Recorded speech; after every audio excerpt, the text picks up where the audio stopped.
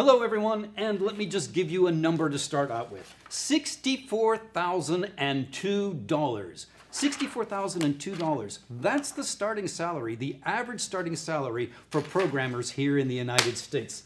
Hi, everybody. I'm JP, and welcome to Pasco Laboratories. Today, the P stands for programmers. And the reason it stands for programmers is because we are celebrating something wonderful, and I'm celebrating it today with Heidi, who's joining me in the big celebration. Heidi, what's the big celebration? It's Hour of Code Week. It's Hour of Code Week. That's right. It's Hour of Code Week where we take this entire week and focus on all the great things you can do with coding, all the great opportunities that are available. Now, I said $64,000. That, that was a starting salary for programmers here in the United States. Now, we're here, Pasco Laboratories. We're based mm-hmm. in California. What do you think the starting salary is here in California for a programmer? Ooh, California, it's got to be a little bit higher, especially with uh, everything going on. I would maybe seventy thousand. Yeah, you're pretty close. Huh? Yeah, starting salary is seventy-five thousand dollars right here in California. So programming is really something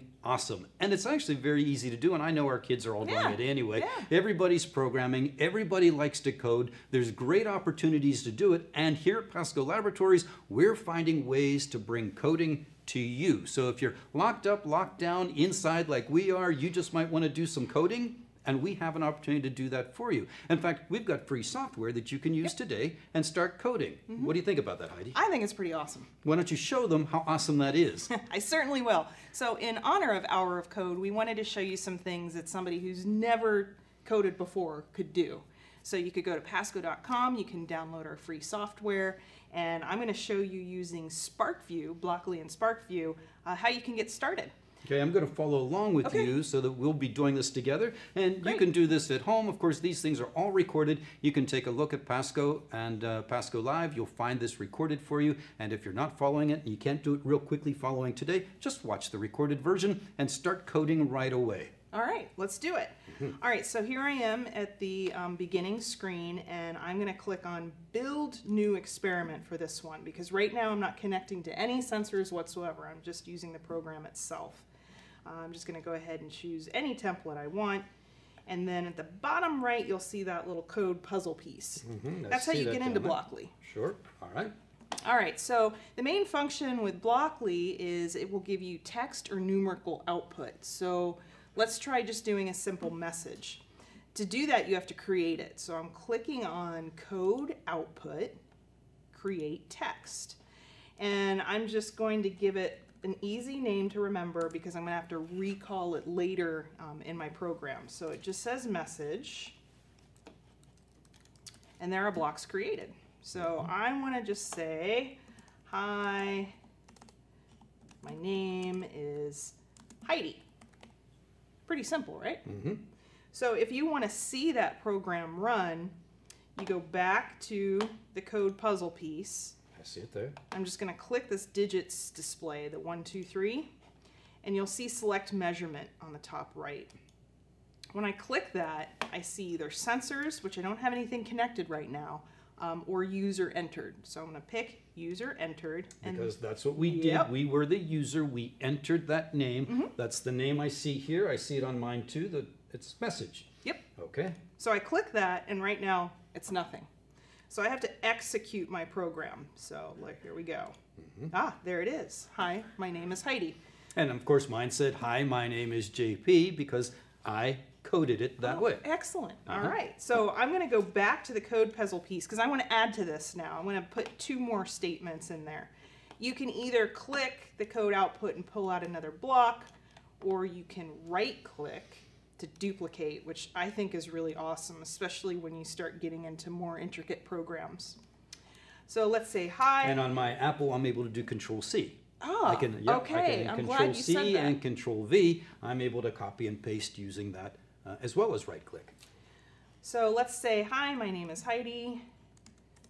Nice to meet you.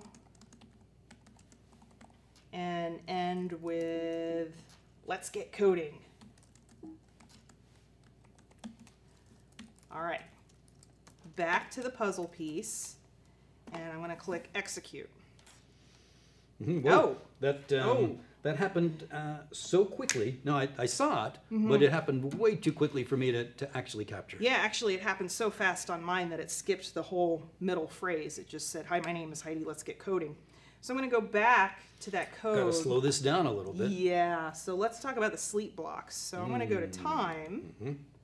And pull one of those out. Let's make it about a thousand milliseconds.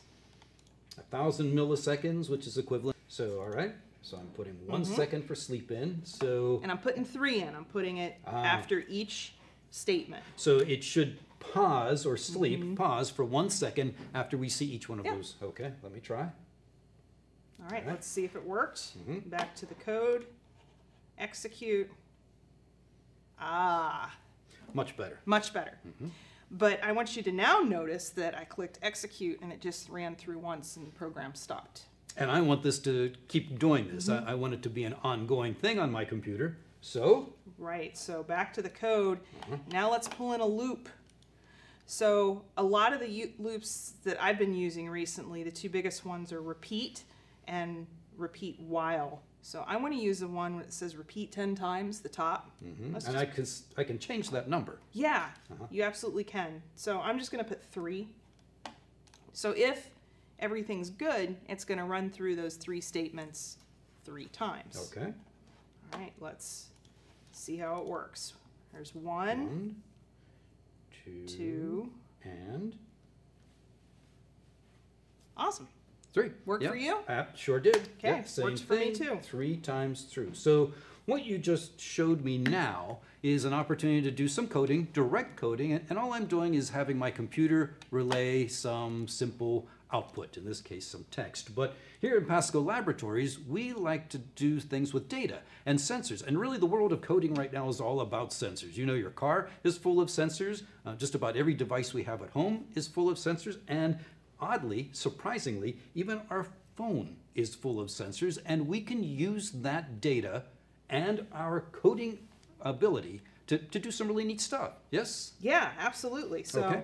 Like? I am going to open a program that I did for fun to get out of the office for a little bit the other day. Mhm.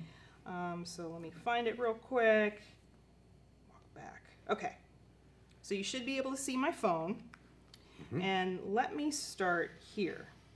I'm going to show you how to get all this to this in a second to create a really fun program, but let's first talk about the data.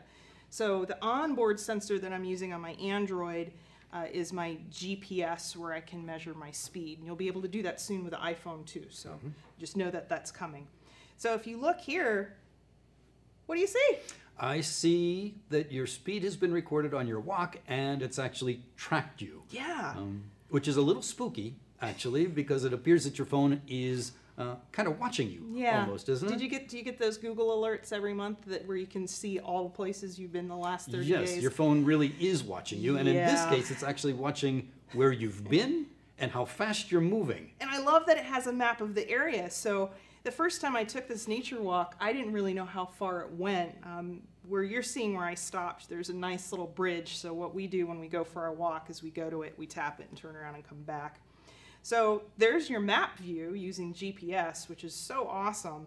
But let me show you the data that I collected because that's a really great thing about Blockly is you're inputting data and using that as a condition for your program to do something. To So using something. the GPS in this case, it, it's monitoring where you've been, Mm-hmm. and since it knows where you're going, it, it's actually capturing your speed. I see here it's meters per second, which is definitely speed, Mm-hmm. and uh, and so it it knows Yeah. how fast you're going. Yeah, so I kind of hovered around the 1.4 meters per second, wasn't walking real fast. Well, Mm-hmm. we know being cooped up inside so much, it's important to get outside. So Sure. the walk's great, but how can I maximize that with, you know, not being able to hit the gym while getting my heart rate up is what I really want to do. So I've collected my data so I know my pace because my pace will be different from yours. Sure. And I want to challenge myself to walk briskly at least 1.6 meters per second. That's Oh, a little goal. bit faster than what you're doing That's here, my and you want to maintain that. Mm-hmm. Okay. So let me show you from the beginning how I can create an awesome program utilizing the data that I collected first. Because Okay. that's the important piece. So I'm Sure. gonna So we're going to code now an experiment or we're going to code for that sensor data to, to give me some kind of output. Yeah, Okay. so I went back, I'm starting a new experiment because I wanted you to see how you connect to the onboard sensors on your phone. So I click sensor data this time, and look at all those onboard sensors that are on my phone. Right, yes, I see those on mine also. And yes, so these are all things that I can measure and that I can capture and I can use in developing a code. Yep. Um, interesting. And I see uh, onboard GPS and, of course, acceleration. In this case, you're using the onboard GPS. Yes, so I clicked on that to enable it, and then I'm gonna click on speed. So when I do that and I choose the line graph, I see now that I'm gonna be recording my speed. Mm-hmm. If I wanted to see a map, what I did before, I click on a template, and you see that little world that's got the location symbol? Mm-hmm. When you click on that, oh, it's Oh, gonna give giving me the map view. Yeah, it'll give you the map view for wherever you're at. So let's create that program I talked about, the motivator. So I'm going to click on the code and let's start with a loop. This time I'm going to use repeat while true. And this just means it's going to run through the program over and over and over again until I tell it to stop by clicking the stop button. I'll make that a little bit bigger. And we haven't done this yet, but now I'm going to pull in my conditional piece. Oh, okay. Yeah, right. my This, this is telling me what to do, when to do it. Right. essentially. hmm So this is where I'm going to put in the sensor I'm going to utilize. So I'm going to pull this comparison block out that says equal. And now I go to hardware. You see that first one that's Mhm. lit up? Pull that out. Now, did we use latitude? No, What was the focus we for were us? using speed. All right, so if you just click that drop down menu, it can Mhm. pull you right up to speed. Haha, get it? oh, yeah. Cute. All right, and then I'm going to pull a math block out because this is where I'm going to set. Remember, I said I want to stay above 1.6 meters per second. So if my speed is greater than, click on that so I can adjust it.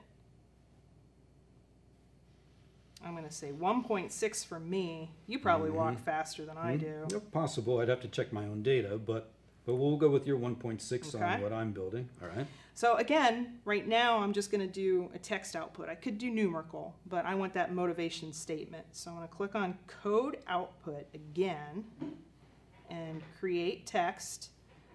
Um, I could say message, motivator, whatever I want to call it. I'm just going to say message for now. And I can pull this out. So if I'm going above 1.6, I'm going to say Great work. Keep it up. Mm-hmm. Okay? Nice, nice motivating statement there. Great. All right. So, but now I need what happens if I'm not going fast enough. Electric shock. we have yet to add that to our software. Oh, your phone let- doesn't do electric shock? I'll let the software Something to think about for the future. Yeah, Mhm. absolutely. So I clicked that gear. Oh, I see that. Okay. Yeah. And so, all right. So, if I'm doing something, you've told it to, to say, great job, um, great work. But if not, that's the if part. Now we're able to say something else. Okay, so I'm going to click code output again and pull this out. Mm-hmm. And now I'm going to say, speed it up. yeah, get heart. And when I do that, it gives me that cute emoji. So, sorry. All right, there we go. Get heart rate up. And then you could say move faster or anything like that. So, there I go. So let's let me make this smaller so you can see the whole program. All right, so repeat while true. If my speed is greater than 1.6, it's going to say great work, keep it up.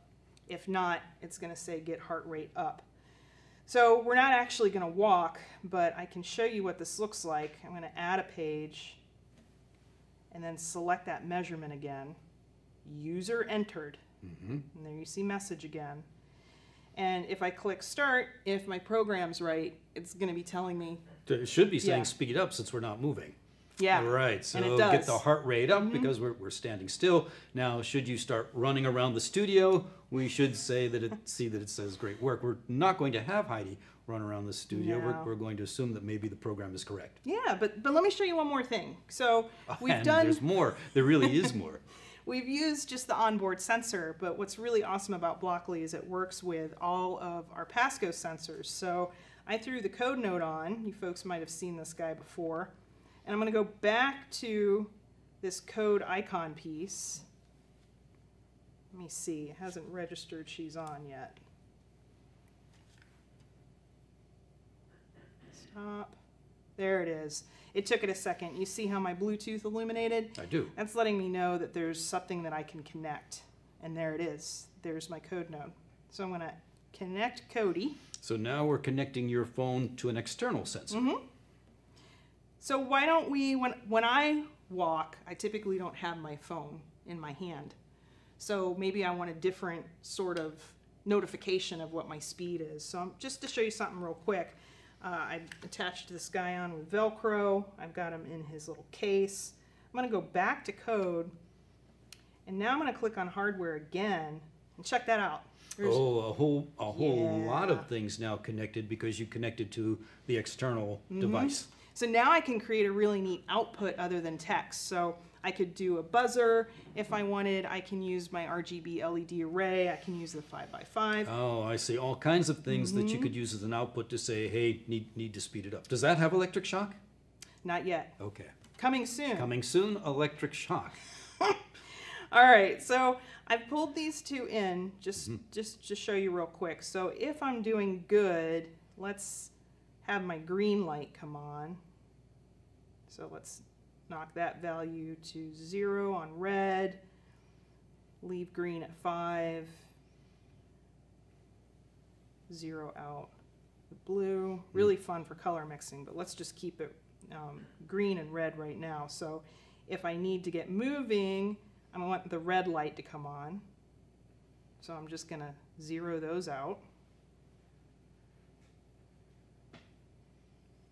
Hmm, So all Heidi is doing is changing the values in the RGB so that the different colors are showing up and where it we have both text output and we still have the text output. It's still there. She now also has a second output Yeah. in the device that she's got on her arm where she's changed the colors. All right, so if it works, when I click start, it should come up red, right? So let's see here. Click start. There we go, and the red light came on. telling me that I need to speed it up. Mm-hmm. Yep. Wow, that is really terrific. Again, if you were running around the studio, that would turn Turn green, green. Mm-hmm. and this is a much better indicator. And and in this case, we are still using the phone as the sensor that's collecting the data that, that's allowing us to actually move forward with that. So that's that's awesome. That's terrific. Yeah, I think it's beyond cool. It really gets me excited there. Oh, I would be too. And we know that the phone isn't the only device that has onboard Mm-hmm. sensors. There, there's lots of things that have onboard sensors. My computer has onboard sensors. Heidi, your iPad has onboard sensors. And so you don't necessarily need an input output device. We do have them. And, uh, and I might also mention for the program that Heidi just wrote, we do have an EKG sensor that could actually monitor your EKG, awesome. right? So we can see how fast your heart is going. All right, so let me get into my iPad here. I've got it connected. Okay, so I've been told, I hear that we use our devices a little bit too much. Ah, yes. The TikToks. Right, right. Sometimes we need to be able to put those down and, Yeah. and not use them. Yeah, we got to learn how to separate work and home life right now. So maybe you want to have a family night where everybody's device, you can't touch it. So I've created a sleep mode that, let me show you how it works first. Um, let's start. So it's saying sleep, but if I pick it up, what's it tell you?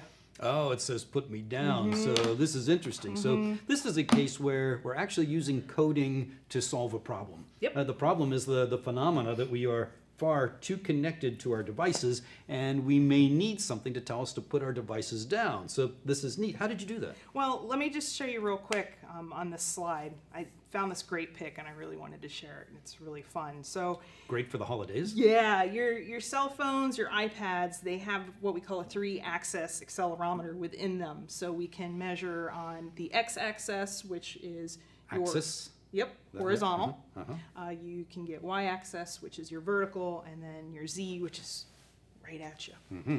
So how can I utilize this information in that program I just created? And and I have used this sometimes with my phone, and, and I will tell you, and you probably have to try this at home, but from my phone, it tells me that the X is moving in this direction. This this is X.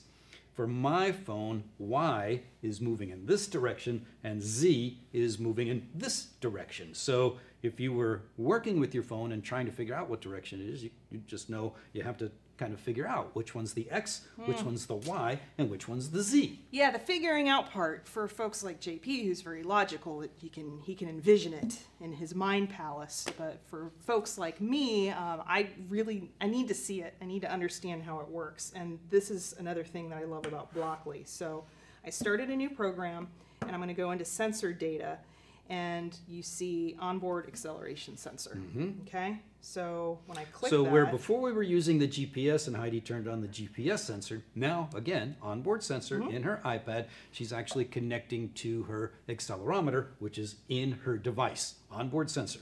So if you want to visualize what JP just explained with his phone, I'm going to click X, oops, open that back up, X, Y, and Z, and turn off the resultant. I don't need that for Oh, this demo. very nice. So we can see again that your phone's collecting, or in this case, your iPad's collecting the X, Y, and Z acceleration, or it could give you the resultant of all of those combined, which would, which would be the combination of all three of those directions, and you're just picking each one. Yeah, so I'm going to click the line graph. Oh, And look- check that at this. out. This is really nice. Yeah. Now I can see the X, mm-hmm. Y, and Z being collected. So if you want to see what the data really looks like, this is awesome. So you pick up the iPad or your phone, you click start. So I'm just going to tilt back and forth. So X, Y, or Z, what's being measured really well right now? Right, might be able to use that data in a program. Yeah, when I'm taking a look at your computer, I'm seeing that the, the X is, is staying fairly consistent, but the Y and the Z in yours is uh, large differences, Mm-hmm. very large differences. So uh, you're moving back and forth is the Y and the Z. It's right. not the X. But if I tilt to, towards ah, myself look at and that. away, Okay, now I can Ah. see the. you guys are seeing how screen orientations work now, which is pretty awesome. So if you're getting dizzy at home, grab onto something. Don't stand up while watching this. But but we're definitely able to see how the how the X is working. And what a neat opportunity to say that the reason the accelerometer is used sometimes in our devices is for screen orientation. Yes. As as one of the many things that it does. And remember, guys, we're live. If you've got any questions about any of the things that we're talking about, Heidi's here to answer them. I'm here to answer them. Just get us your questions and we can answer them for you directly right now. And Heidi, that was some great data. so Now, what do I do with it? Yeah, let's use it. So let me show you how I created that sleep program. So I'm going to use X and Y because sometimes we pick up our iPad this way, sometimes we pick it up this way. So we have to put both of that into our mm-hmm, program, mm-hmm. to, you know, just to make sure we're doing it right. So I'm click on the code icon, and let's start with that while true loop again. Mm-hmm. And I'm going to pull out my conditional. Now, this statement's going to be a little different. We're going to call it a compound conditional because there's two things, one or two things either have to occur at the same time or at different times. I'm going to build what's going to look like a long block, but trust me, it's not too tough. I'm going to pull out this and, but I want it to say or. And this is why. I'm going to pull out that conditional block that you saw in our last program. I'm going to pull them here and here. Oh, I see. Okay, so I have two different situations. Yeah. So one or the other could occur. Mm-hmm. I'm going to click hardware again, and you see it kind of resets at resultant here. But I want to do X. Mhm. As we saw from your data, we're going to be looking only at the X and the Y. Let me pull these out because let's look at the data again real quick. Am I working with positive or negative integers? Uh, you're working with both. Your your Mm-hmm. numbers, it looks to me, fluctuate between like a negative four and a positive four, roughly. Um, in this case, that on the y-axis. So both both integers. Mm-hmm. So let me show you how to use another one of our math blocks. I want to use the absolute value of x and y. And that way I know I'm working with a positive number. I use that drop down again. There's absolute. Oh, that's very clever. So now I don't have to worry if it's a negative Mm-hmm. four or a positive four. It's just four. Yeah, you, I mean, you could do a program like that, but let's simplify it. Mhm. All right, so when the absolute value of x, absolute value of y, and you've got to check here because it goes back to the default. So I'm going to pull out my math block because this is where I'm going to put in the number that triggers. So let's say if x, the absolute value of x is greater than, let's just say 1 Mhm. and then do the same over here greater than 1 So based on the data again, anytime Mhm. that number in the x or the y is greater than one, we, we should see something happen because that's what you're saying. You're saying if it's greater than one on the x or the y, what happens? all right so let's create that little sleep mode put me down so if it's greater i'm going to go to code output to create my message and again you could put you know family time however you want to recall this and I'm going to pull that text block out. If it's greater, let's say put me down. And I love the iPad because I can do emojis. I like this little purple devil guy. Put me down. Yeah, I like those emojis too. I notice I try on my computer, I don't have them. Um, but I do notice on my iPad I do. I think some computers have them some don't. but Well, and they can go to use 'em. online and import them. You can cut and paste, which is Oh, really you cool, Oh, into nice. the text output. So have some fun figuring that one out too. All right, so I clicked the gear to add my else. Sorry, I got to make that a little bit bigger. So, Mhm. so let's say. So we have put me down. So we've already established that condition. Mm-hmm. If it's greater than one in the x or the y, it's saying, hey, put me down. That, that was to solve our problem. But as a reward for if it's not being touched, It's going to say else. sleep mode, and let's change to sleepy emojis. nice. Okay, so Okay. let's take a quick look to make sure we got everything the way Mm-hmm. we want it to. Um, if the absolute value of acceleration x is greater than 1, or the absolute value of acceleration y is greater than 1, it's going to say put me down. Else, sleep mode. Beautiful. A very simple code solves Mm-hmm. a problem. Now, how do we see that? So I clicked the code again. Mm-hmm. I need to add a page. Any template's fine. I like the big one. That way you're not sharing any other data points. Select measurement and then user Back to that user entered like we'd seen before. You see message. All right. Let's see if we did this right. So start. Ah, so Okay, far so that's in good. sleep mode and put me down. Put So, me down. doesn't matter which way I tilt. the orientation is working. It's saying put me down and back Mm-hmm. to sleep mode. So it was actually able to capture that relatively easily. Yeah. Very nice. So this is nice something program everyone can do right now at home. Beautiful. Awesome. I absolutely love what you did there.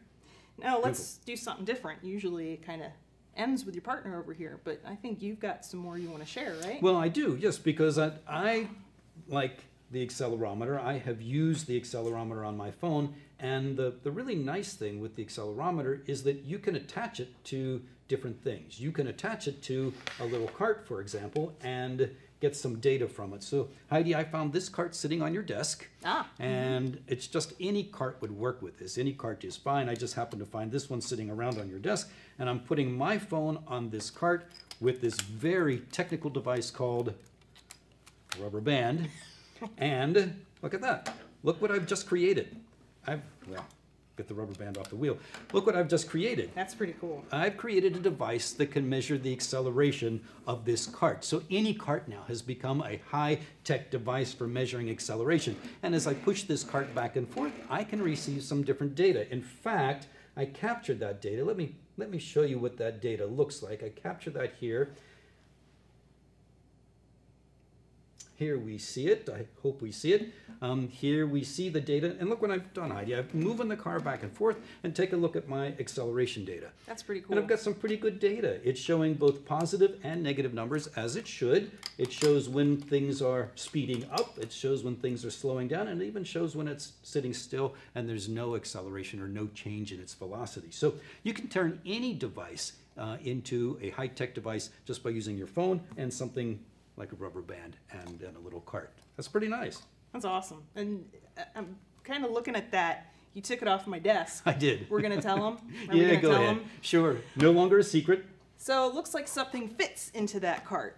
Right, and so coming up very soon, you need to know that the code node, which, which Heidi has already talked about, and you've seen a tremendous amount about the code node, and if you haven't seen it yet, go back to Pasco Live and look up some of our code node opportunities. But watch what happens here. The code node actually drops right inside of this cart, and we're ready to go. We are actually now able to collect some data and so do some things. So you could do it with your phone, you could do it with this device, because this device also has an Mm-hmm. accelerometer on board. So I turn it on, I put it in, and now I'm able to start collecting some data. And the nice thing is, Heidi, I did that. I collected some of this data and take a look at what I have on the screen. This is the data I collected from now the code node in that card. That's some really beautiful, smooth Yeah, data, isn't it? Yeah, it is. And, I, we should add that with Blockly, now with the code node cart, there's two new additional measurements. So we have cart velocity and cart position. So velocity and position on the cart with the code node, a whole lot more that we're going to be telling you about the code node and the code node cart. But just taking a look at what we're doing here and some coding, look at the nice data that I have. And I, I wanted to do this because the, the interesting thing is, you know, if you're out driving or you're out buying a car, that acceleration is so important. And you can have rapid acceleration, you could have slow acceleration. Rapid acceleration for like a Porsche, mm-hmm. slow acceleration for like a Ford Pinto, for example, but but two different things. You want to know, are you a Porsche or are you a Pinto? And and it just depends on how rapid you move it. So look at this data.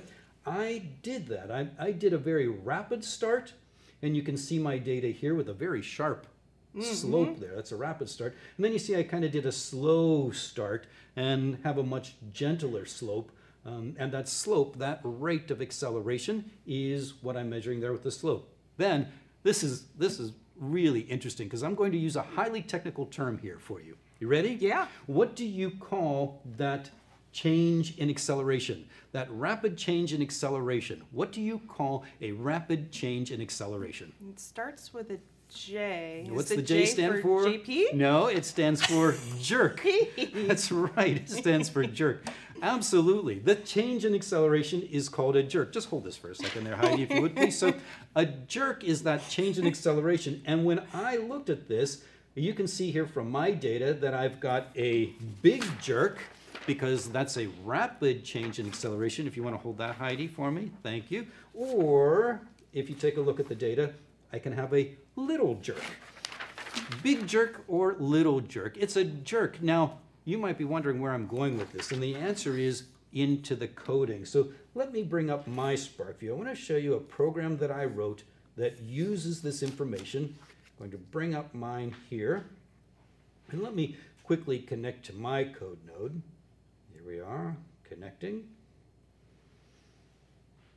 And I want to show you what I did. Heidi, you're not the only one that can code. I'm impressed. What I've done, and look, it's a very easy code.